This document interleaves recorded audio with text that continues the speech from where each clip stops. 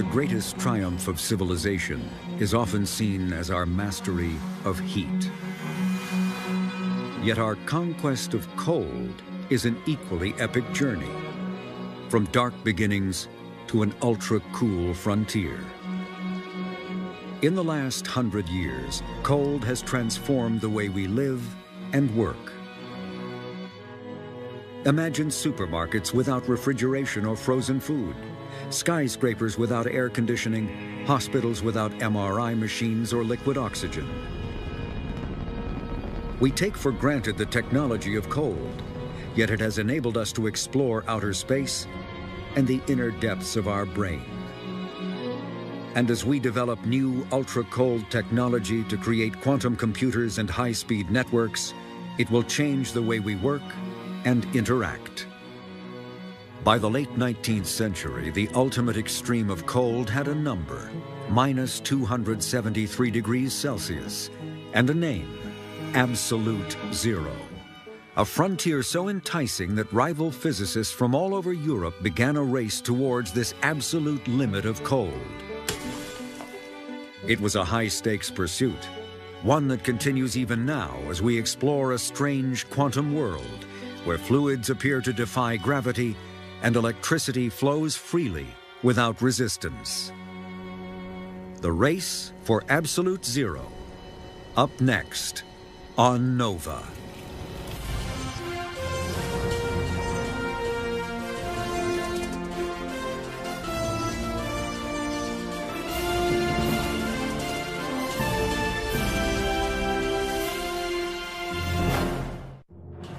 Major funding for NOVA is provided by David H. Koch and Discovering New Knowledge. HHMI. Major funding for Absolute Zero is provided by the National Science Foundation, where discoveries begin.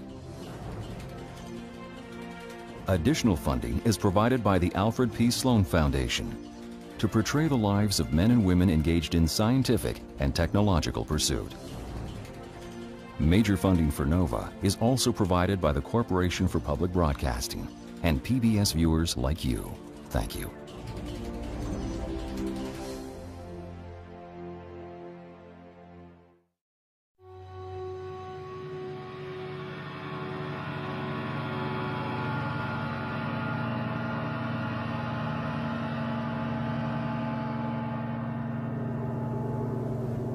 A century ago, Antarctic explorers were pushing further and further towards the coldest place on Earth, the South Pole, where temperatures can plummet to minus 80 degrees. The competition to reach this goal was matched by a less publicized but equally daunting scientific endeavor, the attempt to reach the coldest point in the universe, absolute zero. Was it possible to attain this ultimate limit of temperature, minus 273 degrees Celsius? Only in a laboratory, by liquefying gases, could scientific adventurers take the first steps towards this holy grail, a place where atoms come to a virtual standstill, utterly drained of all thermal energy. Among the front runners in the race towards absolute zero was James Dewar, a professor at the Royal Institution in London. It will be the greatest achievement of our age. In 1891, he gave one of his celebrated Friday night public lectures on the wonders of the super cold to celebrate the centenary of his great predecessor, Michael Faraday.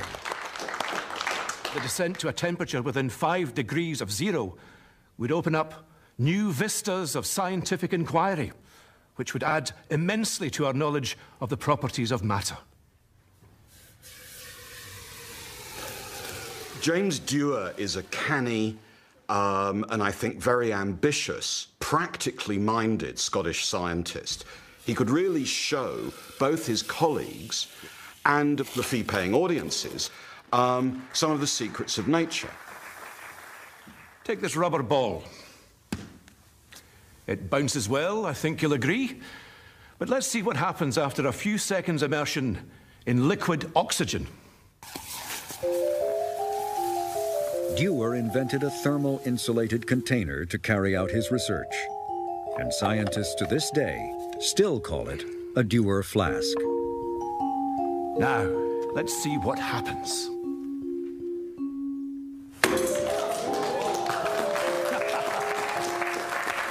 This uh, phantasmagoric aspect of science always helped science to be accepted by the public.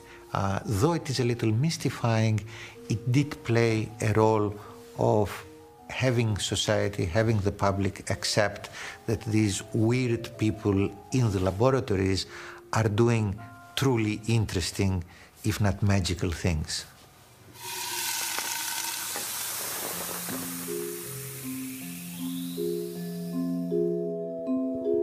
Dewar's dream was to take on the mantle of the Royal Institution's greatest scientist, Michael Faraday.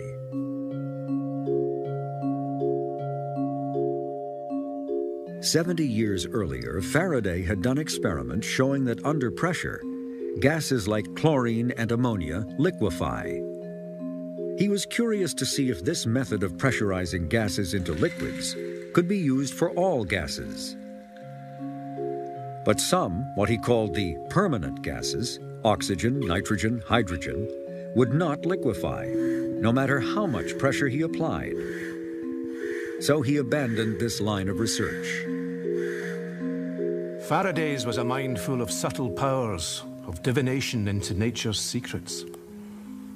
And although unable to liquefy the permanent gases, he expressed faith in the potentialities of experimental inquiry. The lowest point of temperature attained by Faraday was minus 130 degrees centigrade. It was not until 1873 that a Dutch theoretical physicist, van der Waals, finally explained why these gases were not liquefying. By estimating the size of molecules and the forces between them, he showed that to liquefy these gases using pressure, they each had to be cooled below a critical temperature. At last he had shown the way to liquefy the so-called permanent gases was to cool them. Oxygen was first, and then nitrogen, reaching a new low temperature of almost minus 200 degrees centigrade. Only the last of the permanent gases remains to be liquefied. Hydrogen, in the vicinity of minus 250 degrees centigrade.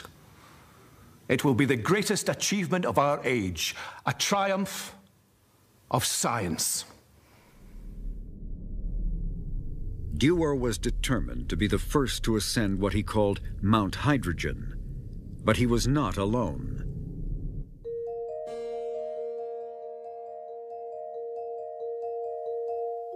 The competitor Dewar feared most was a brilliant Dutchman, Heike Kamerlingh Onnes.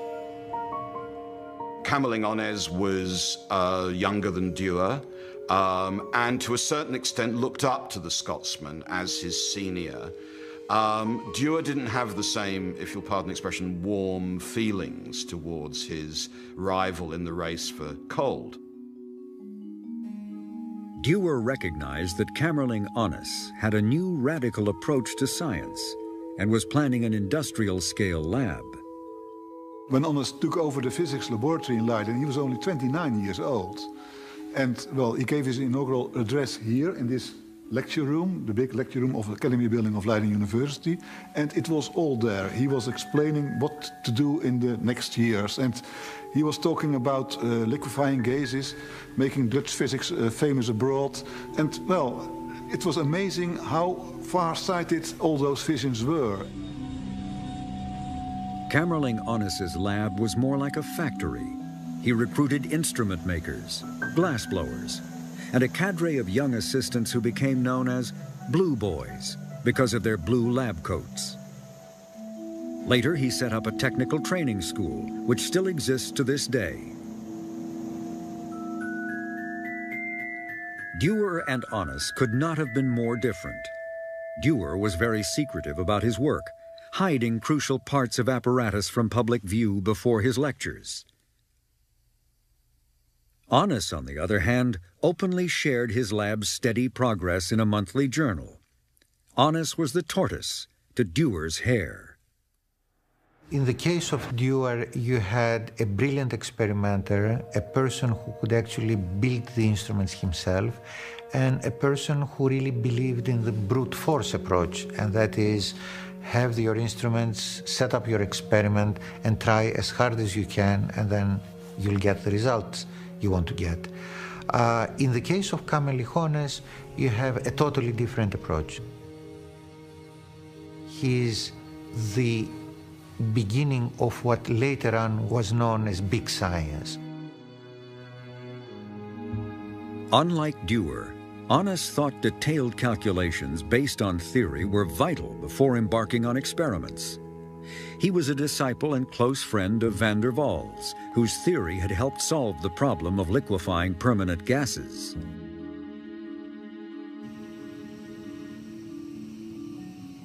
Though their approaches were different, Kamerlingh Onnes and Dewar used a similar process in their attempts to liquefy hydrogen. Their idea was to go step by step down a cascade using a series of different gases that liquefy at lower and lower temperatures. By applying pressure on the first gas and releasing it into a cooling coil submerged in a coolant, it liquefies. When this liquefied gas enters the next vessel, it becomes the coolant for the second gas in the chain. When the next gas is pressurized and passes through the inner coil, it liquefies and is at an even lower temperature. The second liquid goes on to cool the next gas, and so on. Step by step, the liquefied gases become colder and colder. Each one is used to lower the temperature of the next gas sufficiently for it to liquefy. In the final stage, where hydrogen gas is cooled, the idea was to put it under enormous pressure, 180 times atmospheric pressure, and then suddenly release it through a valve. This would trigger a massive drop in temperature, sufficient to turn hydrogen gas into liquid hydrogen at minus 252 degrees, just 21 degrees above absolute zero. Here was the risky bit, because his apparatus was um, going down in temperature, getting very, very cold, so very fragile, quite easy to fracture, while at the same time the pressures he was working at were very, very high, so the possibility of explosion. He took the most amazing risks, both with himself, he was a lion of a man in terms of courage, and with those around him. All the equipment he was working with could have crumbled or blown up, and more than occasionally, it did. Dewar had many explosions in his lab. Several times, assistants lost an eye as shards of glass catapulted through the air. In the notebook, he actually writes, jots down many details of what happened in the apparatus, but not what happened to his assistants. So somehow you get the impression that apparatus is more important than the assistants.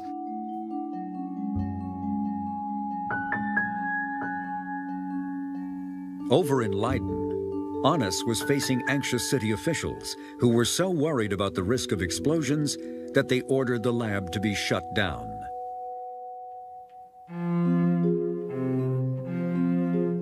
Dewar wrote a letter of protest on behalf of Onnes. But the Leiden lab remained closed for two years. Well, Onnes had to wait and to wait and to wait. Dewar was already starting uh, with liquefying hydrogen, and well, Onnes had the apparatus to do so too, but it just couldn't start. So we had lost the battle before it was even begun.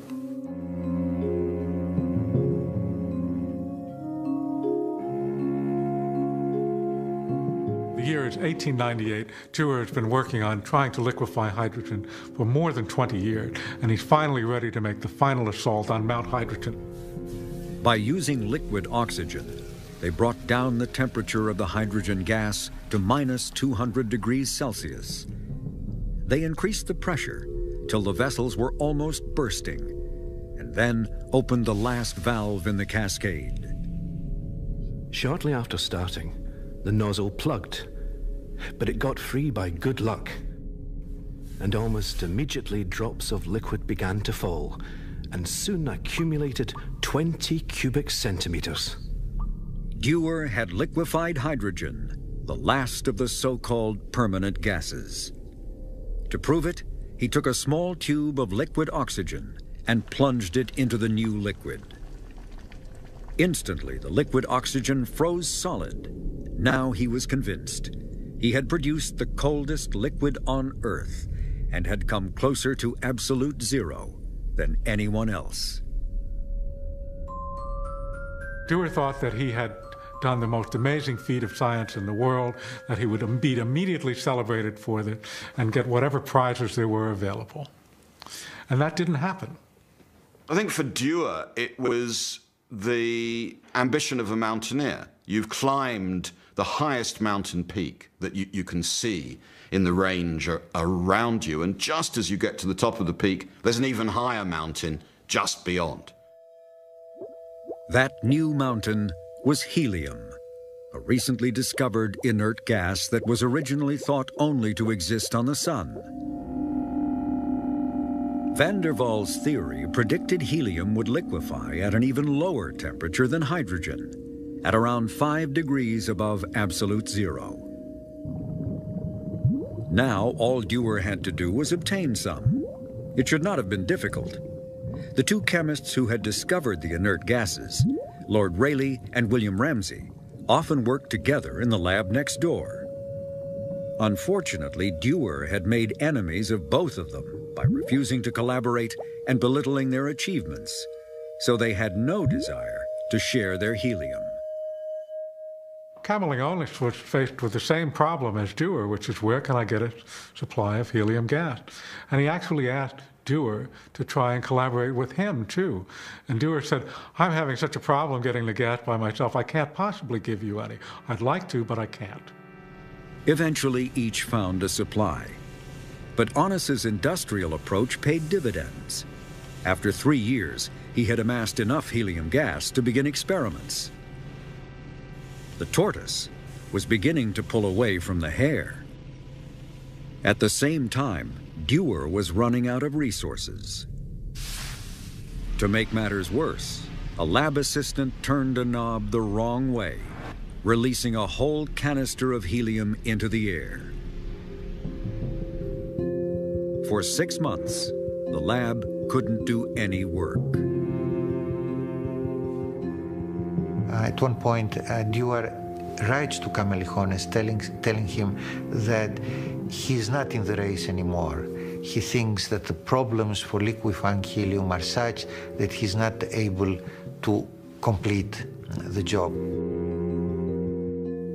The battlefields of science are the centers of a perpetual warfare in which there is no hope of a final victory. To serve in the scientific army, to have shown the initiative is enough to satisfy the legitimate ambition of every earnest student of nature. Thank you.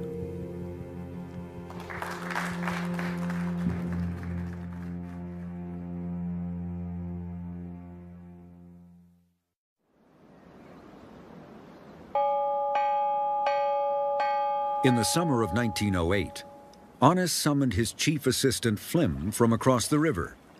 They were finally ready to liquefy helium.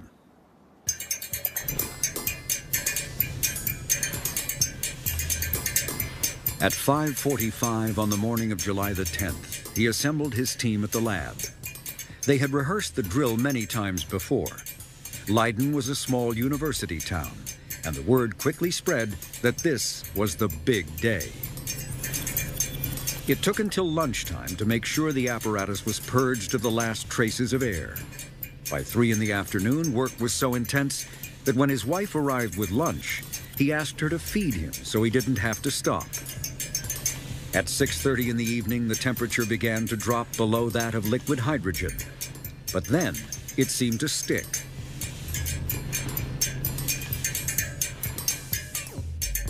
Onnes doesn't know why this is. And a colleague comes in and he suggests that that means maybe they've actually succeeded and they don't even know it yet.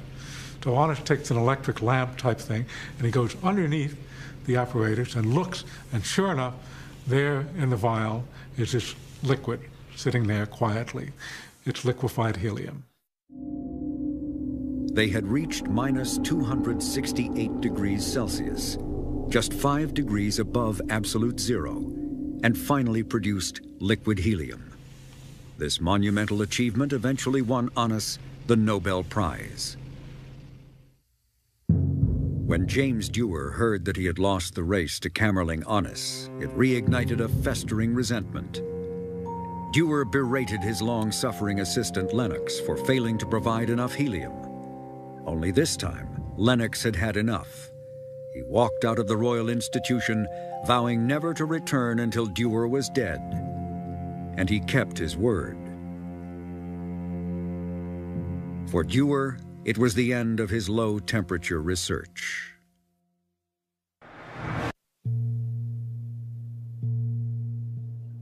James Dewar's dream of reaching absolute zero was over.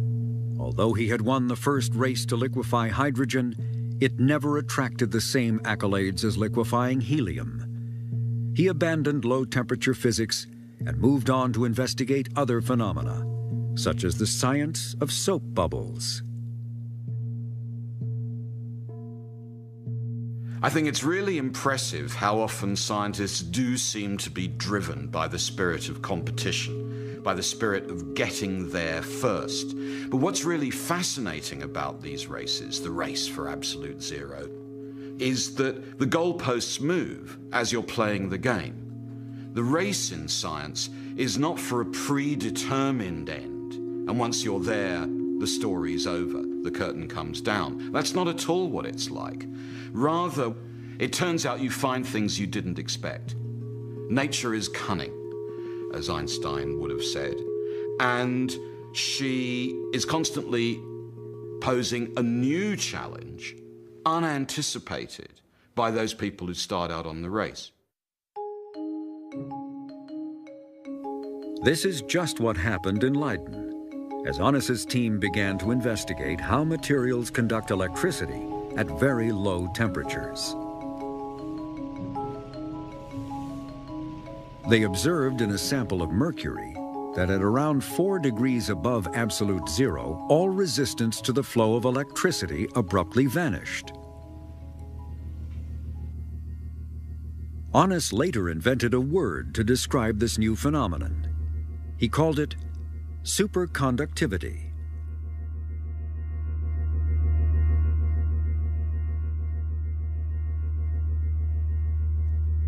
We have a circular ring of permanent magnets which are producing a magnetic field. And now when we put a superconducting puck over it and give it a little push, the magnetic field repels the superconductor.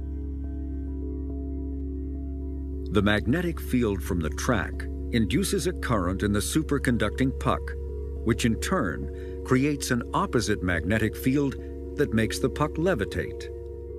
It produces a magnetic field like a North Pole against the North Pole, and that's why you have the repulsion. As the puck warms up, its superconducting properties vanish, along with its magnetically induced field. For decades after its discovery in 1911, the underlying cause of superconductivity remained a mystery. Every major physicist, every major theoretical physicist had his own theory of superconductivity. Everybody tried to solve it, but it was unsuccessful. There were more surprises ahead. In the 1930s, another strange phenomenon was observed at even lower temperatures. This rapidly evaporating liquid helium cools until at 2 degrees above absolute zero, a dramatic transformation takes place. Suddenly, you see that the bubbling stops and that the surface of the liquid helium is completely still. The temperature is actually being lowered even further now, but nothing particular is happening. Well, this, this is really one of the great phenomenon in, in 20th century physics. The liquid helium had turned into a superfluid, which displays some really odd properties. Here I have a beaker with an unglazed ceramic bottom of ultrafine porosity. Ordinarily, this container with tiny pores can hold liquid helium. But the moment the helium turns superfluid, it leaks through. We call this kind of flow a superflow. Superfluid helium can do things we might have believed impossible. It appears to defy gravity. A thin film can climb walls and escape its container. This is because a superfluid has zero viscosity. It can even produce a frictionless fountain, one that never stops flowing. Superfluidity and superconductivity were baffling concepts for scientists. New radical theories were needed to explain them.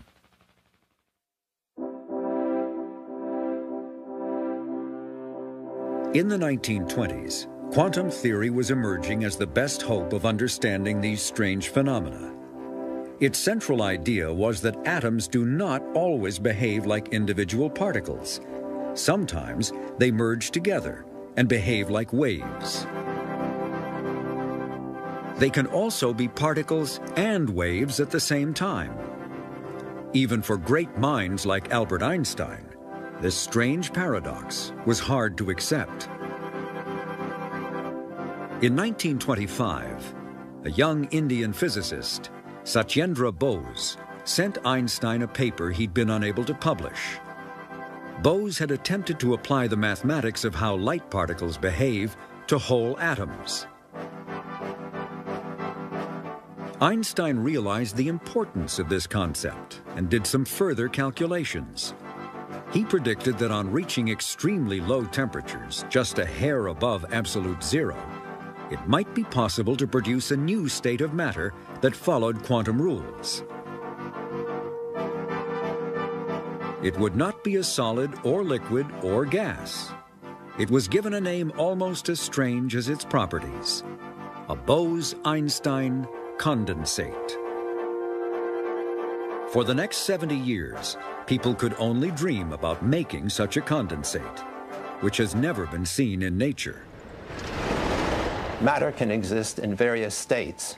Atoms at high temperature always form gases. If you cool the gas, it becomes a liquid. If you cool the liquid, it becomes a solid. But under certain circumstances, if you cool atoms far enough to extremely low temperatures, they undergo a very strange transformation. They undergo an identity crisis. So let me show you what I mean by an identity crisis. When you go to low temperatures, the quantum mechanical properties of the atoms become important. These are very strange, very unfamiliar to us, but in fact, each one of these atoms starts to display wave-like properties. So instead of points like that, you have little wave packets like that moving around. It's really difficult for me to explain just why that is, but that's the way it is. Now, as you go to very low temperatures, the size of these packets gets longer and longer and longer. And then suddenly, if you get them cold enough, they start overlapping. And when they overlap, the system behaves not like individual particles, but particles which have lost their identity. They all think they're everywhere. This little wave packet over here can't tell whether it's this one or that one or that one or that one or that one or that. there and it's there and it's there. They're all in one great big quantum state. They're all overlapping. They're all doing the same thing. And what they're doing, to a good approximation, is they're simply sitting at rest. This Bose-Einstein condensate is very difficult to imagine or to visualize. I can imagine what it's like to be an atom running around gaily, freely, bouncing into things, sometimes going fast, sometimes going slow. But on the Bose condensate, I'm everywhere at once. I've lost my identity. I don't know who I am anymore. I'm at rest, and all the other atoms around at rest, but they're not other atoms around. We're all just one great big quantum system. There's nothing else like that in physics, and certainly not in human experience. So just to think about this causes me wonder and confusion.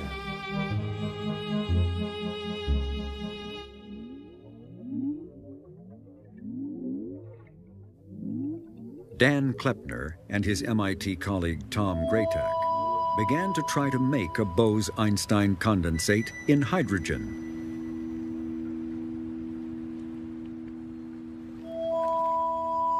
As we started out the search for Bose-Einstein condensation, our enthusiasm grew because hydrogen seemed like such a wonderful atom to use. It had everything going for it. It had its light mass. That means that the uh, atoms will condense at a higher temperature than other atoms would. The atoms interact with each other very, very weakly. All the signals seem to be pointing to the fact that hydrogen was the atom for getting to Bose-Einstein condensation. Kleppner's idea was to cool the hydrogen atoms by making use of their magnetic poles. He used a strong magnetic field to create a cluster of atoms in a cold trap. Unfortunately, sometimes one atom flipped another, which triggered a release of energy that raised the temperature. It was a frustrating time for us because our methods were so complicated, we were having a hard time moving forward. Now others decided to take up the challenge. Two physicists from MIT met in Boulder, Colorado, and came up with a different approach to the problem. Rather than focusing on the lighter atoms of the periodic table, they hit upon the idea of using much heavier metallic atoms, like rubidium and cesium. But would using these giants enable them to reach closer to absolute zero? The idea in the field in those days was that the light things like hydrogen and lithium would be easier. And there were some good reasons for thinking that, but we had we had other ideas. Yeah, sort of gut intuition in some sense. Their plan was to use a laser beam to cool the atoms, a technique that had already been tried by physicists at MIT. Lasers are usually associated with making things hot, but if they are tuned to the same frequency as atoms traveling at a particular speed, lasers can cool them down. When the stream of light particles from the laser hits the selected atoms in the gas cloud, they slow down and become cold.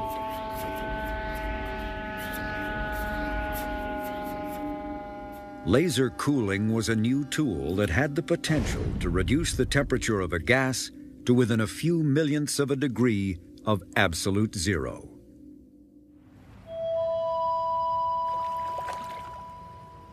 But Cornell and Wieman were not the only ones excited by this prospect. A new scientist had arrived at MIT. It was in late 91 or early 92 that we had an idea. An idea how a different arrangement of laser beams would be able to cool atoms to higher density. And it worked. And this was really a trigger point. I will never forget the excitement in those groups, group meetings when we discussed what do we next. Because with higher density, there are many things you can do. Could we now push to Bose-Einstein condensation? You see, well, lots of cables and All the resources of Ketterle's lab were redirected to make a condensate in sodium atoms. And right here, this is an atomic beam oven. What is wrapped in tinfoil is a little vacuum chamber where we heat up metallic sodium so the metallic sodium melts and evaporates. And it's ultimately the sodium vapor, the sodium atoms, which we tried to Bose-Einstein condense.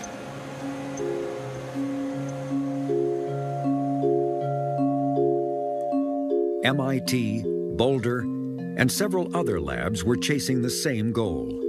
It had echoes of the race to produce liquid helium almost a century earlier.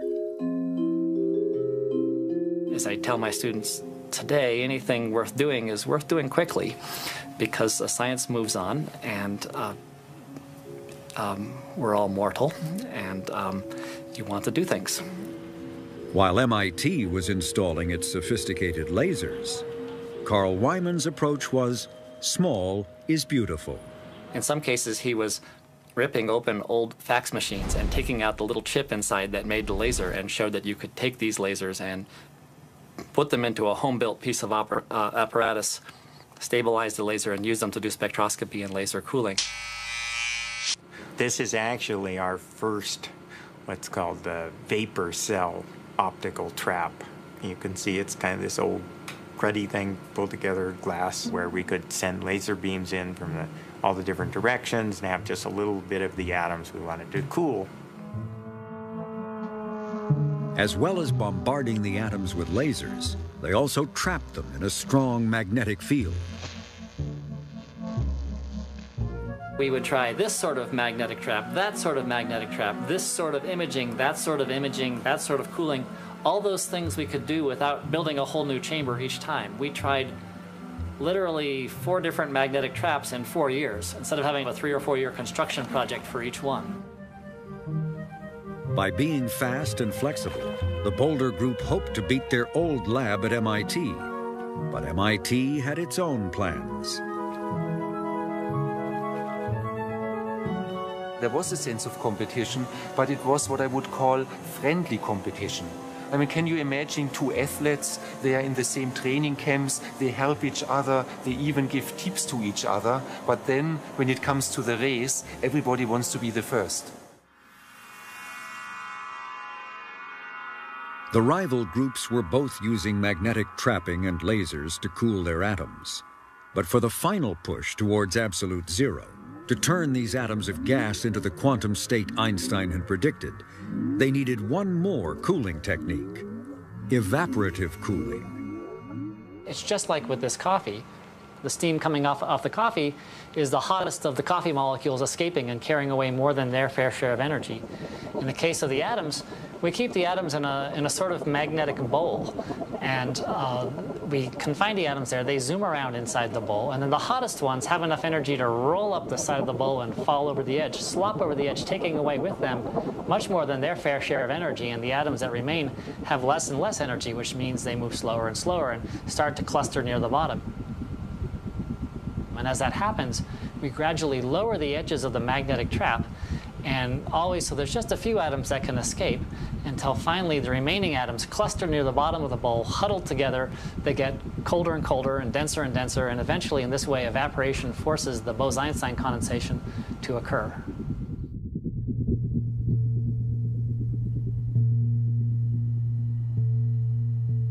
The race to produce a Bose-Einstein condensate was intensifying. At every major meeting, uh, Eric Cornell and I gave talks or talked to each other. We were keenly aware uh, that we were both working towards the same goal. In June 1995, the Boulder Group was working round the clock, knowing that MIT and several other labs were also poised to produce the first condensate. An official visit from a government funding agency was the last thing they needed. We didn't want to close down the lab or clean up our lab or put up posters. We wanted to work very hard. So the senior dignitaries in the three-piece suits and so on came in to the lab and we left the lights off and uh, everyone continued to work and I made them keep their voices down and uh, talked to them rather in a hurried way and then sort of shuffled them out the door and they all had a slightly puzzled look on their face because it probably had never happened to them before in the history of being a visiting committee that they were treated with uh, as little little pomp. and uh, later, I actually met one of the guys who said, I suspected something up was up that day because otherwise you never would have dared to do that. June the 5th, 1995, turned out to be a big day in the history of physics. The Boulder Group seemed to have made what Einstein had theorized 70 years before a Bose Einstein condensate. Our first reaction was wait, we got to be careful here. You know, we Let's think of all the different knobs we can turn, checks we can make, and so on to see if this really is uh, Bose-Einstein condensation.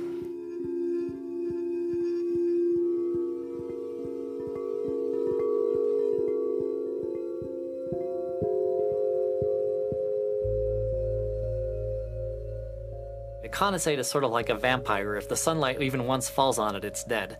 And so uh, it, its, its realm is the realm of the dark. But we can take pictures of them because we strobe the laser light really fast. And uh, even as the condensate's dying, it casts a shadow, and the shadow is frozen in, in, in the film.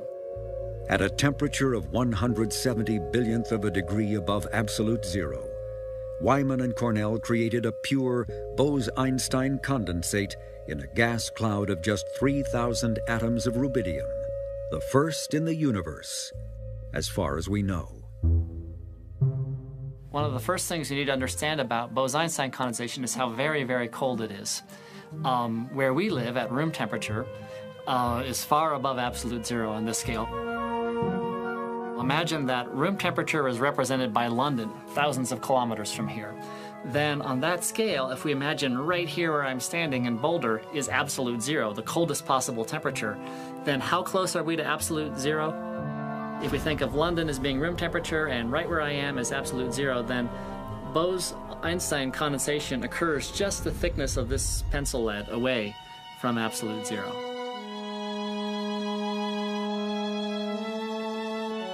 Within months of the Boulder Group's success, Wolfgang Ketterle produced an even larger condensate from half a million sodium atoms, slowed down to a virtual standstill, causing their wave functions to overlap to produce an entirely new state of matter. At last, quantum mechanics was more than just a theoretical construct. It was something that could be seen with the naked eye. Cornell, Ketterle and Wieman shared the Nobel Prize for Physics in 2001. One of the things Nobel Prize means and the ceremony means is that everybody remembers Eric's the person who forgot to bow to the king. there was a breakdown of protocol on my part.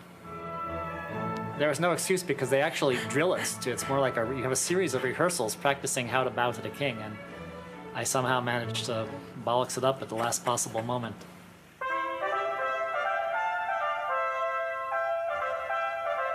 And I thought maybe, you know, Carl, who came after me, would do this, make the same mistake, and then no one would figure it out. But uh, no, he was perfect.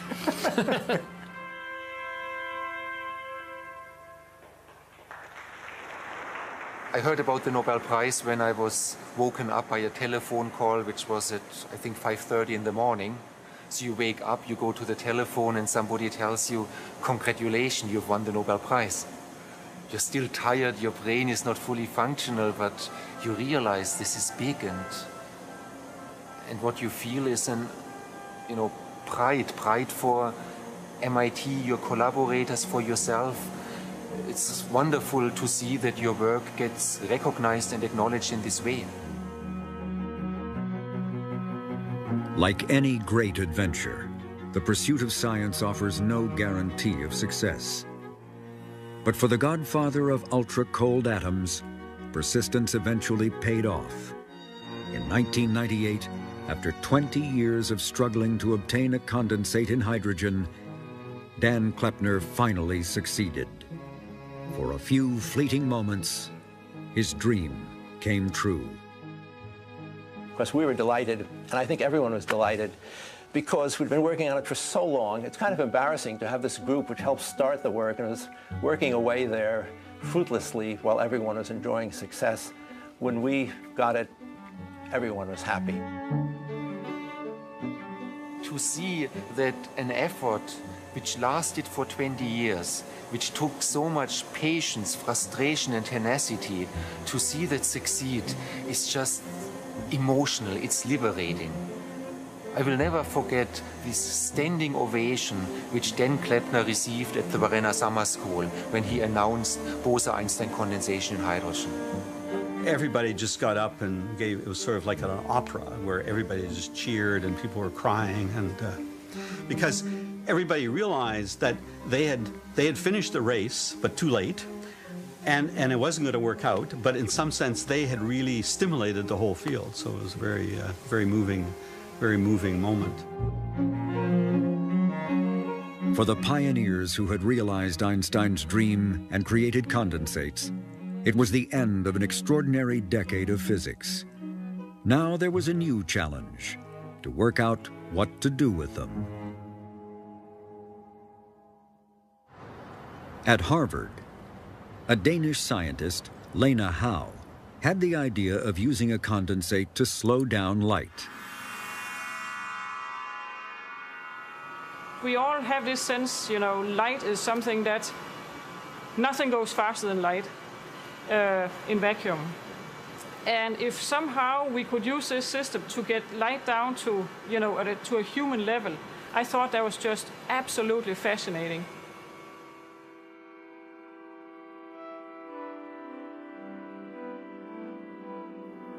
Lene Hau created a cigar-shaped Bose-Einstein condensate to carry out her experiment. She fired a light pulse into the cloud.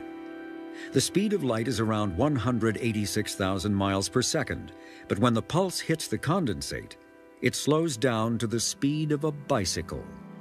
So light pulse might start out being one to two miles long in free space. It goes into our medium and uh, since the front edge enters first, that will slow down. The back edge is still in free space. That'll catch up, and that'll create that uh, uh, compression. And it'll end up being compressed from one to two miles down to 0.001 micron or even smaller than that. You could say, well, gee, it's easy to stop light because I could just set a laser beam into a wall and I would stop it. Well, the problem is you lose the information because it turned into heat. You can never get that information back. In our case, uh, when we stop it, the information is not lost because that's stored in the medium. And then when we have time to revive it, the system has all the information to revive the light pulse and it can move on. One day, ultra-cold atoms will probably be used to store and even process information. Even now, cold atoms are being turned into prototype quantum computers. As a quantum mechanic, I engineer atoms. To make a computer out of atoms, you have to somehow get atoms to register information and then to process it. Why, why build quantum computers? Because they're cool. It's fun, and we can do it right? I mean, we actually can take atoms, and if we ask them nicely, they'll compute. That's a lot of fun. I mean, have you ever talked to an atom recently and had it talk back? It's great. Uh, yes, look at that. Unlike ordinary computers, where each decision is based around a bit of information and is either a zero or a one, in the quantum world, the rules change. At first glance, a quantum computer looks almost exactly the same. But quantum mechanics is weird. It's funky, okay? It's weird. When you do quantum computing, you want to make this weirdness work for you. So now let's look at our quantum bit or qubit. A qubit can not only be a zero or a one, it can also both be a zero and one at the, the same, same time. time. It's almost like a form of and parallel computation. but in a parallel computer, a one computer, processor does this, one processor does that. So you have two processors doing this and that. Quantum in a computer quantum is computer, doing you have only many, one many processor that's doing this and that at the same time.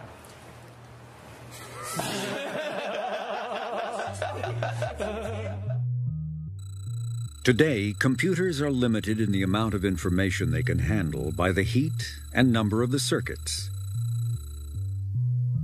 Here, within a giant Dewar flask, lies a prototype quantum computer surrounded by its supercooled, superconducting magnet.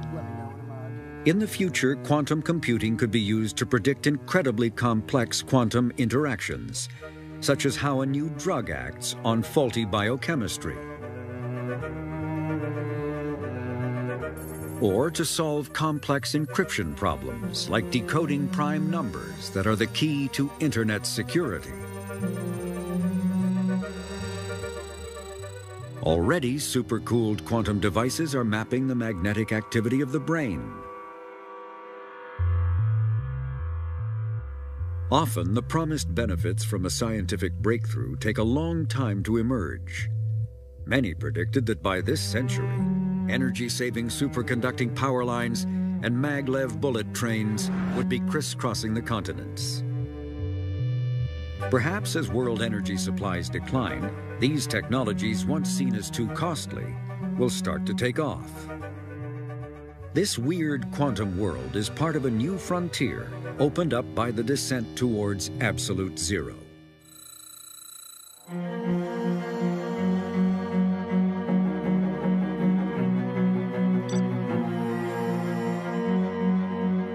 It's been a remarkable journey for scientists into unknown territories far beyond the narrow confines of Earth.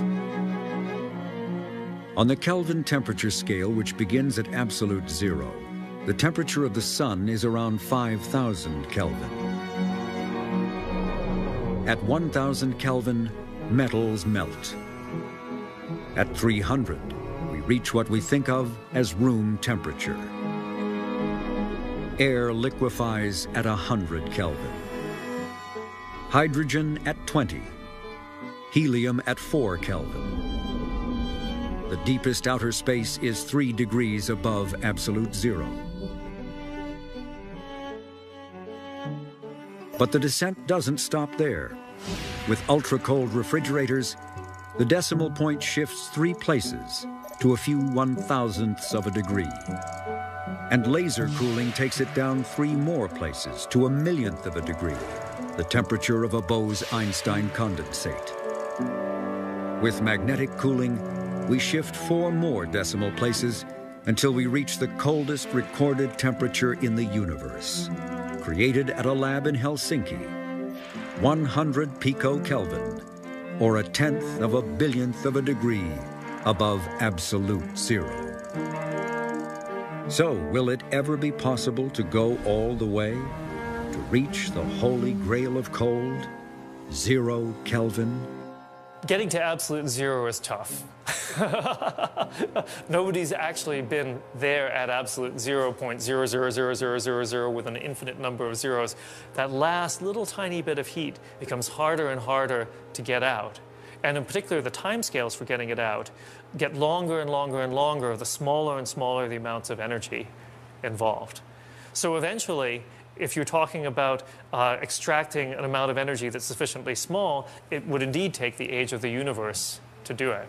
Also, you actually need an apparatus the size of the universe to do it, but that's another story. Absolute zero may be unreachable, but by exploring further and further towards this ultimate destination of cold, the most fundamental secrets of matter have been revealed. If our past was defined by our mastery of heat, perhaps our future lies in the continuing conquest of cold.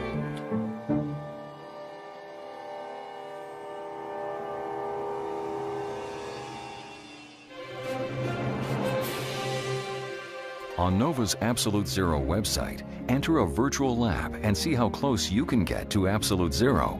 Make your own temperature scale and more. Find it on pbs.org. Major funding for NOVA is provided by David H. Koch and Discovering new knowledge. HHMI. Major funding for Absolute Zero is provided by the National Science Foundation, where discoveries begin.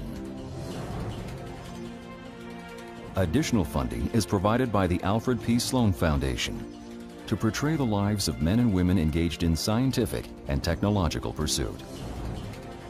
Major funding for NOVA is also provided by the Corporation for Public Broadcasting and PBS viewers like you. Thank you.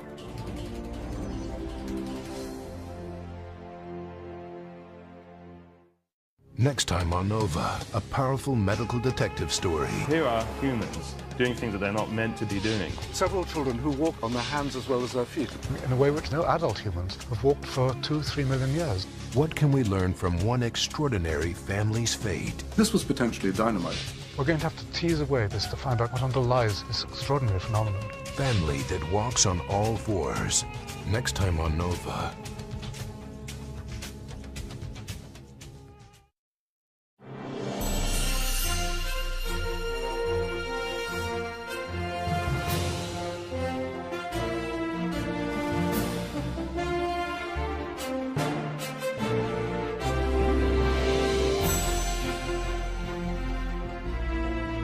To order this NOVA program for $24.95 plus shipping and handling, call WGBH Boston Video at 1 800 255 9424.